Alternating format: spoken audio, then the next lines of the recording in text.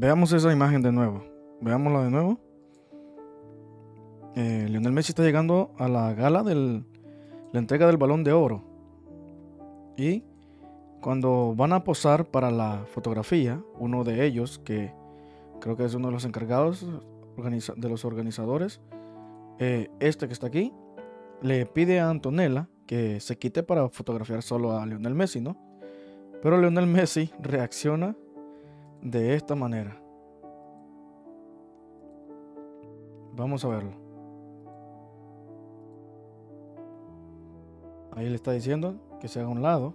Ella, ella lo hace, pero Messi la llama de nuevo, que se quede ahí con él, allí con su familia.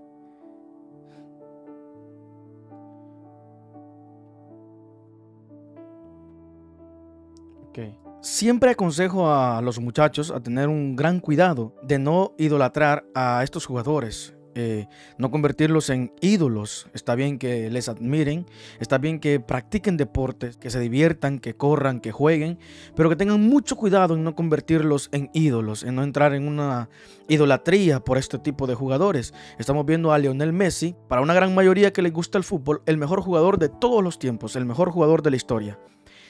Y nos está dando una cátedra de lo que significa el ser un verdadero hombre. Y es que un verdadero hombre le da el lugar que le corresponde a su mujer. Le da el lugar que le pertenece a su familia.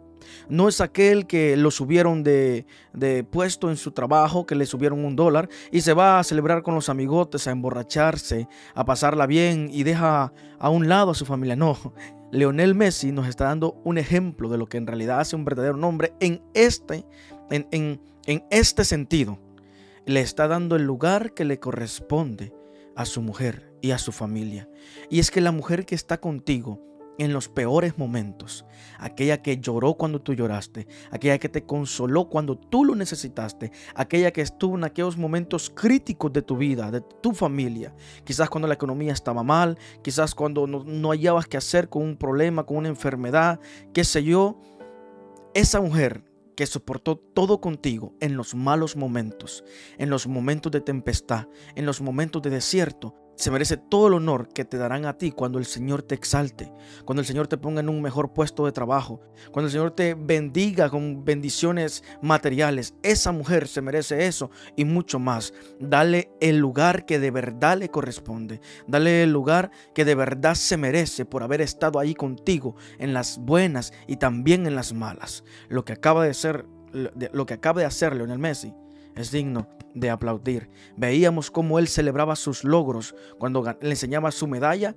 de la primera Copa América que ganaba con Argentina a su esposa. Por motivos de reglas de seguridad en, en, Brasil, pues ella no pudo estar ahí presente, pero él lo primero que hizo es al ganarlo, celebrarlo con su esposa, celebrarlo con su familia.